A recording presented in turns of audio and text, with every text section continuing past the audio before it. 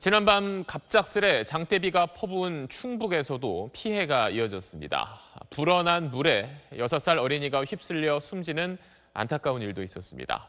충청 지역 비 피해는 CJB 김우준 기자가 정리했습니다. 천막이 하나둘 도미노처럼 쓰러지더니 거센 물살에 그대로 휩쓸려 떠내려갑니다. 아, 한번 바꿔 내려가네. 축제용으로 비치한 컨테이너 샤워실은 물 위로 둥둥 떠올랐습니다.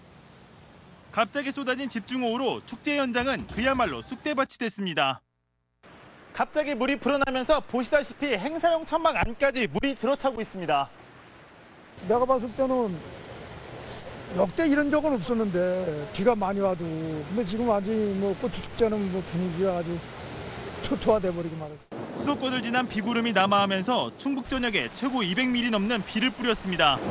특히 괴산군에 피해가 집중됐는데 갑자기 불어난 계곡물에 마을이 고립돼 주민 두 명이 긴급 구조됐고 쏟아진 토사로 도로 일부가 훼손돼 밤샘 복구 작업이 이루어지기도 했습니다.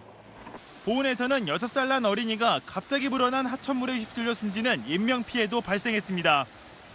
옥천의 한 과수농가엔 공사 중이던 태양광 시설물이 쓰러지면서 과실수를 덮쳤습니다. 기상지청은 오늘 오후부터 비는 그쳤지만 계곡과 하천에는 물이 불어 범람 위험이 있으니 주말 동안 안전사고에 특히 유의해달라고 당부했습니다. CJB 뉴스 김우준입니다.